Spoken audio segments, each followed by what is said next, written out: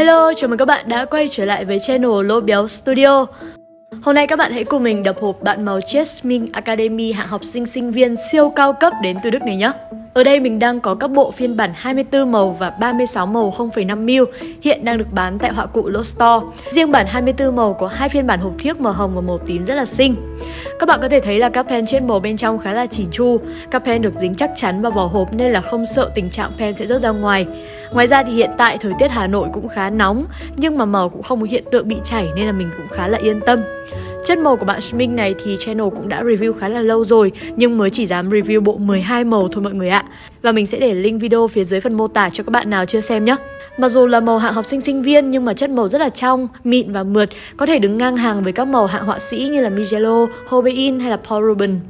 Swimming Academy có các tông màu tươi sáng nhưng mà không bị rực rỡ và chói mắt quá Nên là mình nghĩ tông màu của bộ này sẽ rất hợp với những bức tranh mang không khí vui tươi, trẻ trung năng động một chút Màu chiết thường là một sự lựa chọn tối ưu dành cho những bạn muốn thử nhiều chất màu cao cấp với chi phí thấp trước khi quyết định đầu tư một bộ bản phun với mức giá khá là cao. Tuy nhiên thì bản màu chiết chất màu cũng sẽ có đôi chút khác biệt so với bản phun mọi người ạ. Cảm nhận của mình khi mà test bảng màu của bộ màu chiết này là màu loãng hơn, nhạt hơn so với khi test màu của bộ gốc. Nguyên nhân là do để đảm bảo sự thẩm mỹ khi mà chiết màu cũng như giữ được độ ẩm của màu sau khi khô tránh trường hợp nứt nẻ cũng như là một số vấn đề trong khâu vận chuyển thì màu đã được thêm vào một số thành phần như là gam arabic để chiết. Còn lại thì mình thấy chất màu không khác quá nhiều so với màu gốc đâu. Để kỹ hơn thì mình sẽ test thử độ mix màu của bộ màu Jasmine Academy này. Đầu tiên thì mình sẽ mix các màu với nhau bằng kỹ thuật wet on dry. Mình thấy các màu được hòa với nhau khá là mượt, không bị vón cục, không để lại gợn.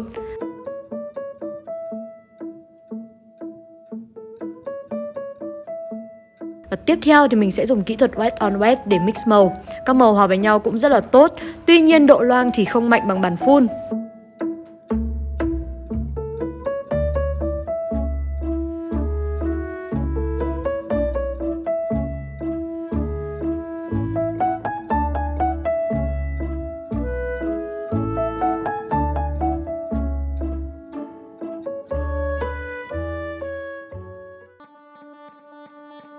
Bây giờ thì như thường lệ, mình sẽ sử dụng bộ màu chiết 36 màu này để tô một bức tranh full xem thế nào nhé. Ngày hôm nay mình lại tiếp tục fan art một nhân vật đến từ game thực vật ngữ. Nếu bạn nào thuộc team mê game đồ họa đẹp đẹp kiểu âm dương sư ấy, thì thực sự không nên bỏ lỡ tựa game này đâu. Game siêu siêu đẹp luôn. Cơ mà hơi tiếc là game chưa có bản Việt, mọi người ạ. Mà chính vì mình u mê quá nhiều game mà game nào cũng có quá nhiều nhân vật, Nên là mình thường đặt tên cho các nhân vật theo đặc trưng cho dễ nhớ. Ví dụ như là vị này sẽ là trà xanh công tử, Bởi vì trang phục của bạn ấy đa số là màu xanh lá Mình đùa chút thôi. Mình thấy là tuy bộ chiết 36 màu này chất lượng được tầm 80 đến 85% so với bản màu gốc thôi, Nhưng mà bù lại số lượng màu nhiều như thế này thì chúng ta sẽ tiết kiệm được khá khá thời gian pha màu. Không biết là có bạn nào nhớ đến series hướng dẫn phối màu vừa được lấp hố của mình không? Trông thì có vẻ rất là nhiều bước pha màu nhưng mà khi quen thì cũng khá nhanh mọi người ạ.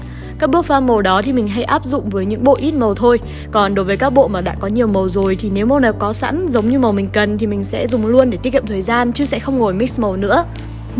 Điển hình như là màu xanh lá trên áo nhân vật. Bình thường nếu mà ít màu ý, thì mình sẽ phải pha màu xanh lá với màu vàng. Nhưng mà ở bộ 36 màu này thì đã có sẵn màu xanh lá mạ mà mình cần rồi Nên là mình sẽ không cần pha thêm nữa.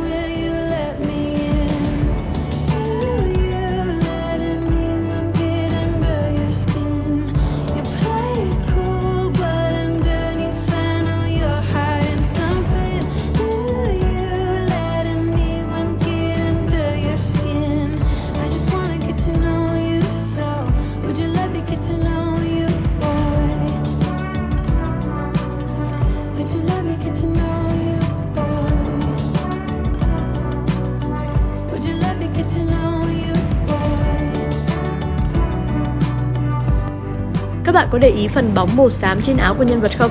Bình thường thì mọi người sẽ tạo ra màu xám bằng cách pha loãng màu đen Nhưng mà phần bóng đổ này mình dùng màu xanh lá pha với màu đen để có cảm giác là bột màu xám xanh Nguyên nhân là nếu để hoàn toàn là màu xám đen thì mình thấy là cảm thấy màu xám hơi bị lạc tông một chút Do đó thì màu xám này không phải là màu xám, mà lại là màu xám với các sắc khác nhau mọi người ạ Cuối cùng thì như mọi lần, mình sẽ dùng bút line và cọ để đi nét lại cho tranh thêm sắc nét, cũng như là các mảng màu được phân tách rõ ràng hơn. Các bút line mình sử dụng là bút line hồng và đỏ của Mavi. Hai màu này của Mavi chỉ có size 0.3 thôi. Bút line đen của Superior và bút line nâu của Zig Mangaka. Thực ra thì bước này vốn là mình định để tô màu trên iPad cơ, Nên là mình đã để sẵn một khoảng trống phía dưới ở góc bên phải để thêm họa tiết khi mà vẽ các mảng chính xong Ai ngờ lúc sau nổi hứng qua vẽ truyền thống mà quên mất chưa sửa bố cục Vậy nên là bây giờ mình sẽ thêm một đoạn washi chữ nền trắng này vào để bố cục được hợp lý hơn mình cũng sẽ thêm một đoạn washi chữ nền đen ở góc trái bên trên nữa. Như vậy thì vừa không trống mà bố cục cũng cân đối về cơ bản, sau khi trải nghiệm thì mình thấy chất lượng của bộ màu Jasmine Academy này cũng khá ổn. 36 màu là một số lượng màu phong phú và phù hợp với những bạn muốn trải nghiệm một chất màu mới hoặc những bạn muốn sử dụng chất liệu tốt hơn với kinh phí không quá cao. Bởi vì một bộ màu chết 24 màu có giá là 220.000 và một bộ 36 màu là 285.000 mà thôi. Nhưng mà mình thì mình vẫn recommend mọi người sử dụng bộ màu 12 hoặc là 24 màu bản đầy đủ hơn. Bởi vì đó là bản chuẩn đến từ nhà sản xuất nên là chất màu sẽ thích hơn rất rất nhiều. Tuy nhiên thì một bộ full có mức giá khá là cao Ví dụ như là bộ 24 màu mà mình đang cầm trên tay này có giá là 1 triệu 850 nghìn rồi Mình chỉ có một nhận xét về hãng này thôi mọi người ạ Đắt nhưng mà sát ra miếng Vậy là bức tranh của mình đã hoàn thành rồi. Cảm ơn các bạn đã xem hết video này và nếu có ý kiến thắc mắc hoặc là có chủ đề gì thì các bạn hãy comment phía bên dưới để lộ biết nhé. Hy vọng là sau các video thì các bạn đều có thể lựa chọn được họa cụ phù hợp với bản thân.